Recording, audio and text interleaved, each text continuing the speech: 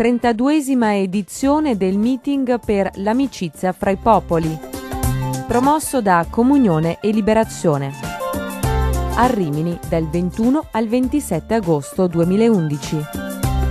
Si è conclusa da poco la conferenza riguardante la figura di John Henry Newman, beato compiuto tale da Benedetto XVI nel suo recente viaggio in Inghilterra dal titolo La certezza di Newman, coscienza e realtà, nel quale hanno partecipato padre Edoardo Aldo Cerrato, procuratore generale della Confederazione dell'Oratorio San Filippo Neri, e Xavier Prades Lopez, decano della Facoltà Teologica di San Damaso a Madrid. E proprio il rettore della Facoltà Teologica di Madrid ha voluto porre al centro come Newman sia stato veramente il personaggio che ha saputo affrontare le due sfide del tempo presente, sfide del fideismo e dello scetticismo. In questo proprio Newman si è voluto affidare al cammino della ragione, avendo come primo obiettivo quello di chiarire la sua esperienza di vita, la sua vita, proprio l'amore per la ragione che lo ha sempre accompagnato nella sua esistenza. Dopodiché appunto l'intervento di padre Edoardo Cerrato si è soffermato soprattutto sulla vocazione di Newman